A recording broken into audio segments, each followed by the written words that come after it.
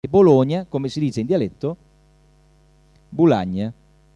In ortografia lessicografica moderna ci si mette il pallino per indicare che in certe zone viene, e una volta era pronunciato così, viene pronunciato Bologna.